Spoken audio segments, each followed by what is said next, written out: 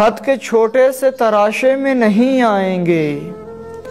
गम ज़्यादा हैं, लिफाफे में नहीं आएँगे। उसकी कोई खैर खबर है तो बताओ यारो, हम किसी और दिलासे में नहीं आएँगे।